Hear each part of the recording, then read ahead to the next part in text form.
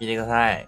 しおさん、ついに、ボンさんとね、えー、先日、爆弾ハンバーグをね、食べてきましたわー ボンさんが、ボンさんがライトチしまして、前々からね、その、ね、爆破行きましょう、行きましょうっていう話はずっとしてたんだけどね、なかなか、なかなかやっぱスケジュールのね、都合でなかなか合わなくて、肝心の、うん、爆弾ハンバーグがね、写真に収めることにね、ちょっと失敗しまして、白子さんもボンさんもね、もう、この日の、この日のために、もう、お昼を抜きまして、えー、なんなら白子さん朝も抜いて、うん、もうお腹ペッコペコの状態でね、もう備えたんですよ。よしってなった瞬間、もう、もう本当に食べて、食べて食べて、だってなんなら会話なかったからね。うん、食べてられたもう、もうバクバクですよ。バクバクの爆弾ハンバーグですよ。美味しいね、やっぱね。爆弾久しぶりに食べたけど。ほんと美味しかった。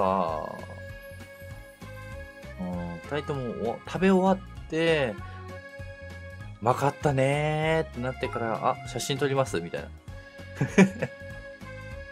そうそう、全部忘れてた。宇都宮の駅でね、待ち合わせして。ボンさん、来るかなーって。どれかなボンさんみたいな。全然ね、わかんない。一回会ってるけどわかんなかった。うん。ボンさんが、うっつって、ういっつってこう、ういっつって手挙げてくれるまでわかんなかったもん。ボンさん。ボンさんね、グラサンかけてくんないとね、マジでわかんない。ヨコさんは多分ね、ちょっと目立つっぽいんだよなそうなんですよ。なんかね、木五郎さんもね、すぐ見つけてくれたんだよな、しおさんのこと。ヨコさん、どんな格好です？とかって言ってなかったのに見つかったしね。その後にね、まあ、ちょっとね、さすがに爆弾食って解散っていうのもなるので、ちごさんのね、あの、好きな、あの、可愛いの唐揚げをね、ぜひ、ぜひ食べてもらいたい。と、あと最近ちょっとはまってるクラフトコーラサワー、もう飲んでもらいたい。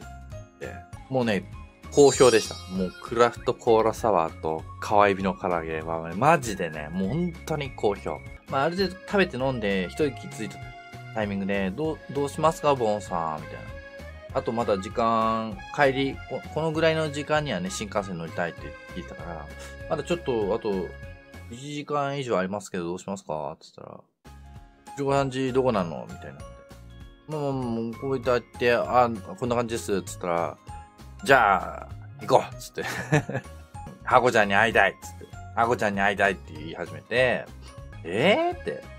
いや、もう、いいですけど、来る、どうかな会うかなと思って、うん、じゃあちょっと、ちょっと確認してみますね、つって、箱太郎。まあ、箱太郎もね、会いたがってはいたんで、だ箱太郎が、まあ、じゃあ、準備して、そっち行くよ、っていう話になって、うん、でも箱太郎ね、あの、連絡つかないんで。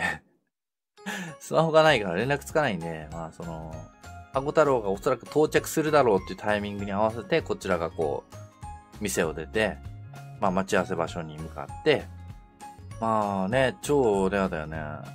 SSR、SSR のキャラ引いたよね。ウルトラレア、SSR どころではないウルトラレア。いや、ウルトラレアは民兵さんの方じゃない？どうしたかっていうと。うん。メンバーの誰にも会ってないわけじゃないから。中古さん会ってるから。で、まあそっからね、ちょっとね、あのー、宇都宮の街をね、ふらふらふらふら歩いて、おさをシール箱兄弟で挟んでお散歩です。で、まあちょっとお散歩しつつ、まあ結局、駅でも、駅にでも行ってお土産選びますかってなって、で、まあ二人でね、えー、ボンさん見送って、挨拶まで見送って、バイバーイって。うん、そうそう。